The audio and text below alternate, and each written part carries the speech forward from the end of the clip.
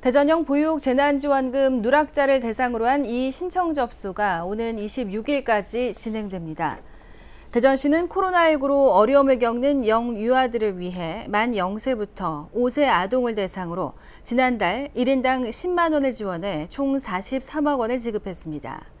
전출입이나 계좌 오류 등 지급 대상에서 누락된 아동은 오는 26일까지 거주지 동행정복지센터에서 이 신청을 할 수 있습니다.